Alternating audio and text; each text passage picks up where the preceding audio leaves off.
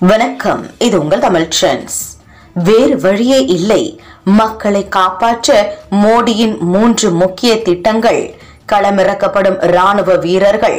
அதை தெரிஞ்சுக்கிறதுக்கு முன்னாடி இன்னும் நீங்க தமிழ் ட்ரெண்ட் சேனலை சப்ஸ்கிரைப் பண்ணலனா உடனே ரெட் கலர் சப்ஸ்கிரைப் பட்டனை பிரஸ் பண்ணுங்க. கூடவே உடனடி அப்டேட்ஸ்க்கு பெல் பட்டனை கிளிக் பண்ணுங்க.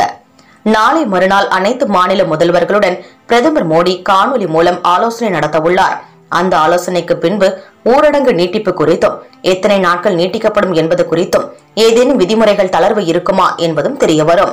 ஆனால் நிலைமை இக்கட்டான சூழ்நிலை அடைந்தால் பிரதமர் எமர்ஜென்சி காலத்தில் எடுக்கப்படுவது போன்று சில முக்கிய முடிவுகளை எடுக்கலாம் என தற்போது தெரிய வந்துள்ளது முதல் கட்டமாக ஆறு நாட்களில் மட்டும் இந்தியாவில் இரண்டாயிரத்து ஐநூற்றுக்கும் மேற்பட்ட கொரோனா நோயாளிகள் உறுதிப்படுத்தப்பட்டுள்ளனர்.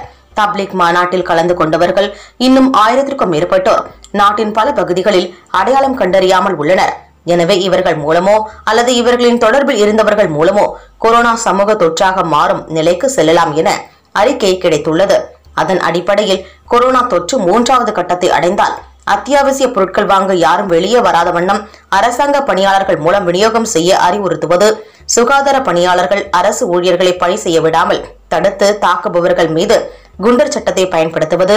தொற்று அதிகமானால் தனியார் மருத்துவமனைகள் ஆகியவற்றை அரசு தன் கட்டுப்பாட்டில் கொண்டு வருவதுடன் அம்மருத்துவர்களையும் பணியில் ஈடுபடுத்த திட்டம் வைத்துள்ளார்.